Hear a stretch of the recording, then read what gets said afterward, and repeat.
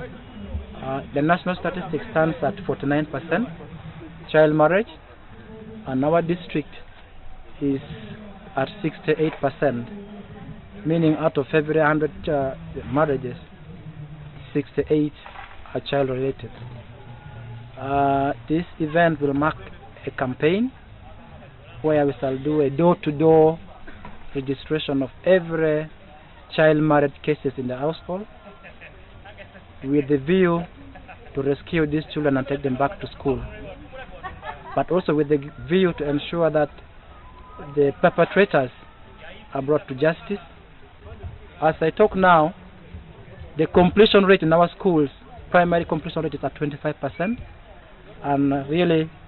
uh, child marriage is one of the biggest factors influencing this.